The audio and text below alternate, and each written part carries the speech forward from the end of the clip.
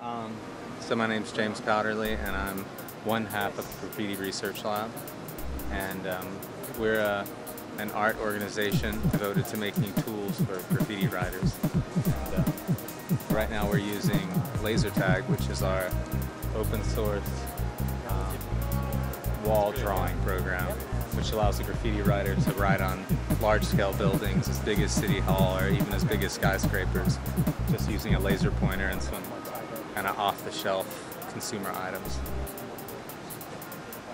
A lot of times, we're not the ones making the art; someone else is. So right now, there's a graffiti writer who's, you know, using the tool and writing with it. Not me, really. So there's actually a surprisingly large number of people who have played around with these tools and, and done things in public with them. People have been projecting, and people are projecting quite frequently. There was a guy named Krzysztof Wodiczko, who's the guy we've been lucky enough to work with, who did this sort of work when, you know, in the 60s and 70s when it was about the Cold War and politics in Europe and between West and East. And so it just, it's, it's now getting to be easy.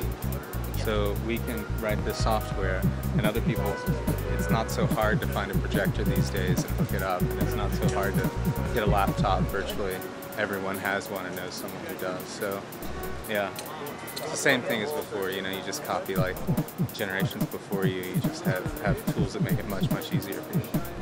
So um, we came up with an idea to make the software and made a rough prototype in uh, 2007 um, in February and tried it out for the first time in um, Rotterdam with a bunch of graffiti writers there. And so the software has been developed over time. We've done it kind of all over the world at this point, but the kind of maybe interesting thing about it is we've released all the software online.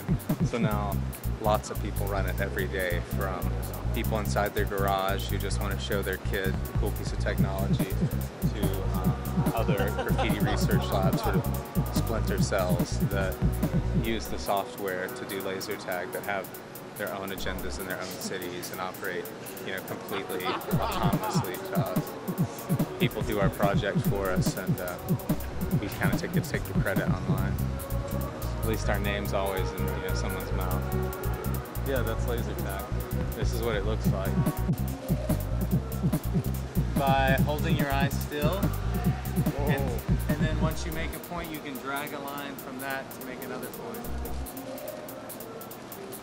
The EyeWriter project is um, something that was uh, uh, inspired by this guy Mick Ebeling, who got in touch with the Graffiti Research Lab and said, "I have a, a friend who's a graffiti writer in LA who has Lou Gehrig's disease, and so for seven years he hasn't been able to draw. And he saw our laser tag project and thought, something, you know, you hook this something to the laser, and maybe he can draw again." So me and Evan got in touch with um, three of our friends, uh, and we called them up and said, "Hey, do you guys think that you can write software that could uh, enable this guy to draw?" And they were like, "Well, what can he move?" And um, the only thing he could move was his eyes. So we set out to kind of create a low-cost eye tracking system, and um, so this is designed for someone who's paralyzed but um, wants to still have you know some type of creative life where they're drawing, making drawings, and specifically this the drawing software right now is designed to make like graffiti style letters. But um, we've released all the the tracking code and the calibration code, and um, so people now can take that and kind of put it into their own applications, whatever they want to do. Yeah, yeah. Everyone, everyone just likes graffiti. I mean, you know, everyone has their sort of stopping point, and it's true even with graffiti writers. There's people who are like, I like public art, I just don't like it when it's without permission. And there's people that I don't mind if it's without permission, but you know, as long as it looks good, and they usually mean street art, you know, like posters and wheat pastes and 3D things in the street, and you know, just moving the art gallery outside type of work. And then there's people that like, oh, I, I like the street art, but I, I just don't like the taggers. You know, I just don't like the kids that tag.